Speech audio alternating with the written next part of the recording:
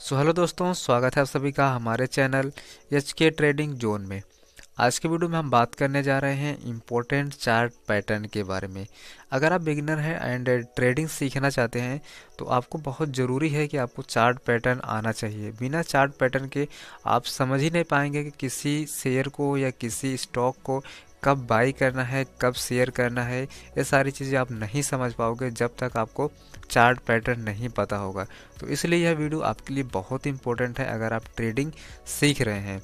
इससे पहले मैंने एक वीडियो बनाया था जहाँ पर मैंने सारी कैंडल्स के बारे में बताया था। कैंडल्स को लेकर जितने पैटर्न बन सकते हैं single candles pattern double candlestick pattern and triple candlestick pattern, जितने भी पैटर्न होते हैं इंपॉर्टेंट उनके बारे में मैंने पहले ही बता दिया है तो उसे भी आप वीडियो देख सकते हैं। और चलिए अब वीडियो को स्टार्ट करते हैं।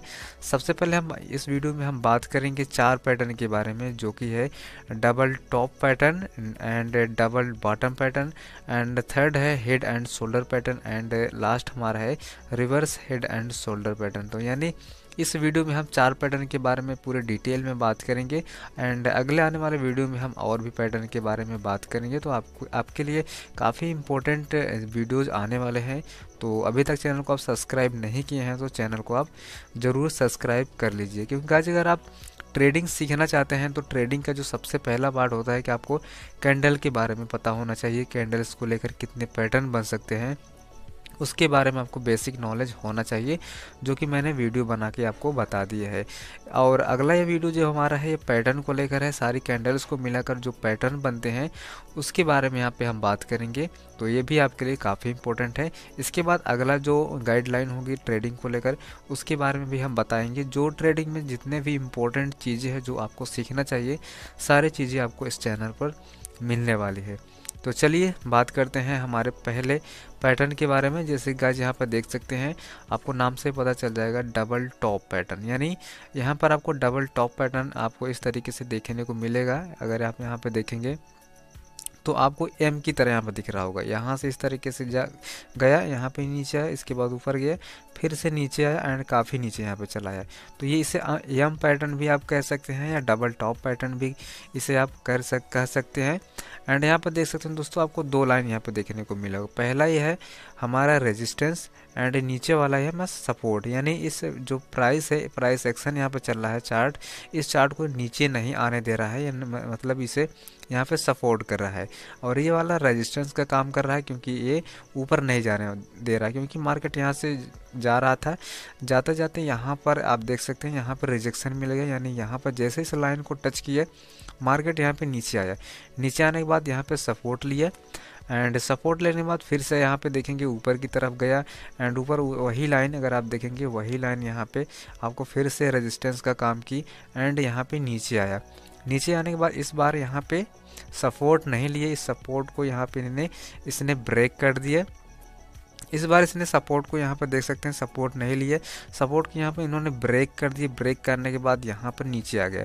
तो अगर इस तरीके से आपको पैटर्न यहाँ पे एम की तरह या डबल टॉप यहाँ पे ऊपर देखेंगे, एक बार यहाँ पे टच किया है एंड दूसरी बार यहाँ पे टच किया है तो अगर आपको दो बार ऊपर की तरफ़ इस तरीके से टच करता हुआ दिखे तो आप उसे डबल टॉप पैटर्न कंसीडर कर सकते हैं एंड यहाँ पर दोस्तों देख सकते हैं इस तरीके से नीचे की तरफ़ ब्रेकआउट आपको देखने को मिलेगा। ये ट्रेंड को रिवर्स करता है, यहाँ पर देखेंगे मार्केट ऊपर की तरफ़ जा रहा था, ऊपर गया एंड यहाँ पर थोड़ा सा इस पैटर्न में बना एंड यहाँ पर नीचे आया।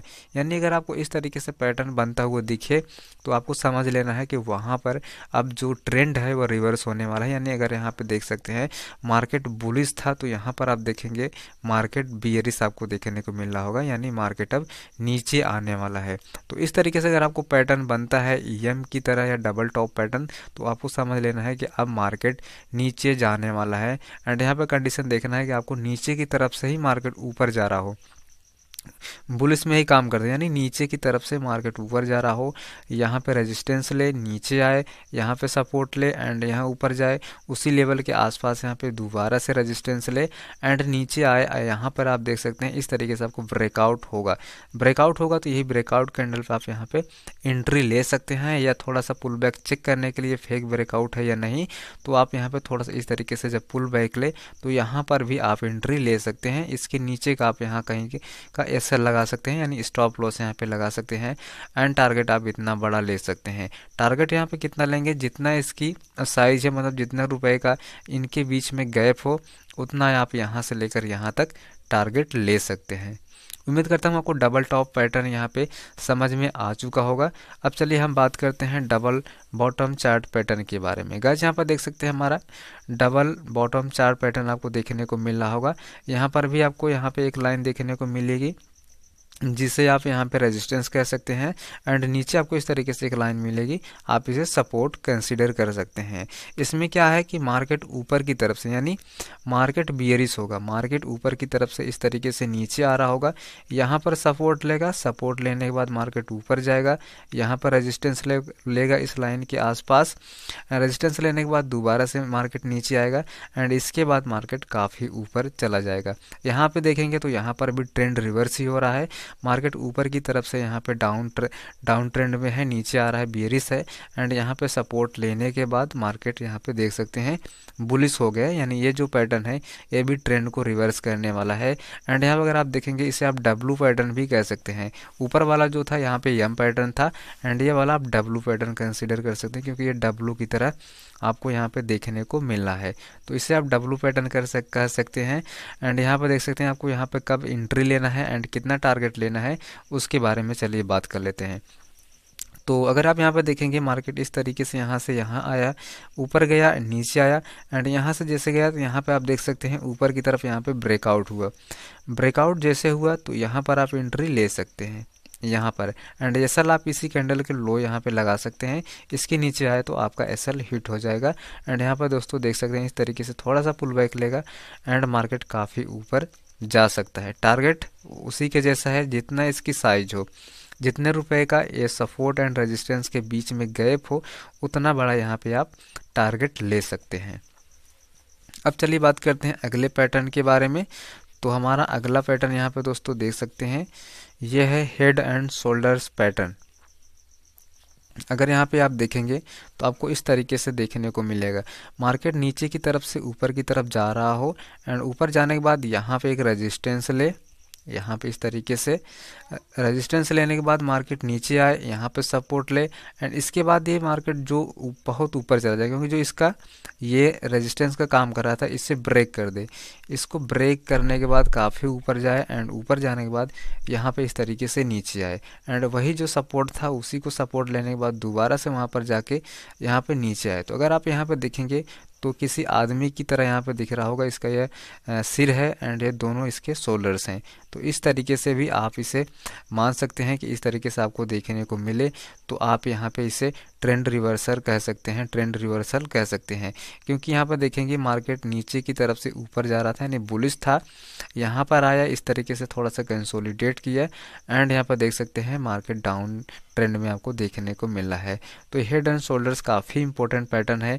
ये भी बार बार चार्ट पैटर्न में आपको देखने को मिलता है, एंड काफ़ी लोग इससे प्रॉफिट बनाते हैं, क्योंकि ये पैटर्न काफ़ी अच्छा खासा आपको टारगेट दे सकते हैं, काफ़ी बड़ा टारगेट देता है। एंड इसमें आपको कैसे टारगेट लेना है कैसे आप एसएल को लगा सकते हैं, उसके बारे में चलिए बात करते हैं। तो यहाँ पे देखेंगे कि मार्केट ऊपर की तरफ़ गया, यहाँ पर रेजिस्टेंस लिया, मार्केट नीचे आया, सपोर्ट लिया।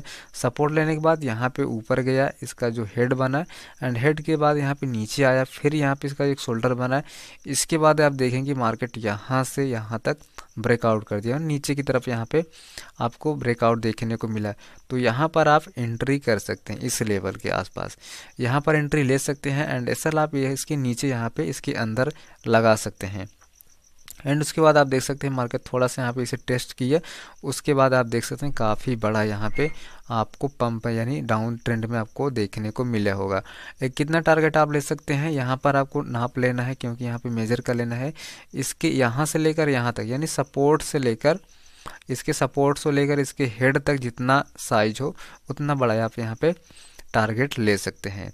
तो उम्मीद करता हूँ आपको हेड एंड शोल्डर पैटर्न भी समझ में आ चुका होगा। अब चलिए हम बात करते हैं अगले पैटर्न के बारे में, जो कि है reverse head and shoulders pattern उसी का अपोजिट है। एंड यहाँ पर अगर आप देखेंगे मार्केट अब ऊपर की तरफ़ से डाउन ट्रेंड में आ रहा होगा। और यहाँ पे डाउन ट्रेंड में एक यहाँ पे सपोर्ट लेगा, जो इस तरीके से यहाँ पे सपोर्ट लेने के बाद मार्केट ऊपर की तरफ़ जाएगा। ऊपर जाने के बाद यहाँ पे रेजिस्टेंस लेगा। एंड इसके बाद फिर से यहाँ पे नीचे आएगा, थोड़ा सा इसका हेड बनेगा। एंड फिर से मार्केट नीचे आएगा। यहाँ पर रेजिस्टेंस लेने के बाद दोबारा से ऊपर आएगा एंड यहाँ पे सपोर्ट लेने के बाद यहाँ नीचे आप देखेंगे, काफ़ी तेज़ी से यहाँ पे ऊपर की तरफ़ आपको ब्रेकआउट देखने को मिलेगा एंड यहाँ पर आप देख सकते हैं काफ़ी ऊपर जा चुका है। तो उसी के जैसा है, बस आपको उल्टा देखने को यहाँ पर मिल रहा होगा एंड यहाँ पर आपको कब एंट्री लेना है, कितना टारगेट बनाना है, चलिए उसके बारे में बात करते हैं। तो अगर आप यहाँ पे देखेंगे, इसका जो हेड है हेड के बाद यहाँ पे शोल्डर एंड नीचे जैसे ही यहाँ पे ब्रेकआउट हुआ ये वाली कैंडल तो यहाँ पर आप एंट्री ले सकते हैं। यहाँ पर एंट्री लेना है और यहाँ पर आपको एसएल लगा लेना है इसी कैंडल का लो। जैसे ही लो ब्रेक हो, आप यहाँ पे, आप अपना एसएल दे सकते हैं। एंड यहाँ पर दोस्तों देख सकते हैं, थोड़ा सा यहाँ पे चेकिंग हुआ एंड मार्केट बहुत तेज़ी से डाउन ट्रेंड में गया। टारगेट कितना लेना है आपको? जितना यहाँ से लेकर यहाँ तक, यानी इसके हेड से लेकर इसके रेजिस्टेंस तक रेजिस्टेंस तक जितना इसका गैप हो, उतना बड़ा यहाँ पे आप टारगेट ले सकते हैं। तो दोस्तों, उम्मीद करता हूँ यह पैटर्न आपको समझ में आया होगा। ये चार पैटर्न काफ़ी इंपॉर्टेंट है, थोड़ा सा हम जल्दी जल्दी से और मैं आपको बता देता हूँ। पहला पैटर्न है डबल टॉप पैटर्न जो कि आपको यम की तरह देखने को मिलेगा। और हमारा दूसरा पैटर्न है डबल बॉटम पैटर्न जो कि आपको डब्लू की तरह देखने को मिलेगा। एंड तीसरा हमारा पैटर्न है यहाँ पे हेड एंड शोल्डर यानी कंधे की तरह आपको हेड एंड शोल्डर एक यहाँ पे सिर आप देख सकते हैं एंड ये दोनों कंधे हैं तो इस तरीके से भी आपको देखने को मिलेगा। उसी का अपोजिट यहाँ पे रिवर्स हेड एंड शोल्डर आपको देखने को मिलेगा, जिसमें सिर नीचे होगा, और यहाँ पे कंधा भी उस तरीके से उल्टे की तरफ़ होगा मार्केट ऊपर की तरफ़ से नीचे आ रहा होगा एंड यहाँ पे इस तरीके से बनेगा एंड मार्केट ऊपर की तरह जा सकता है। तो यही है आज के वीडियो में, इतना ही। अगले वीडियो में अगले पैटर्न के बारे में बात करेंगे। तो आज की वीडियो में बस इतना ही। मिलते हैं अगले वीडियो में।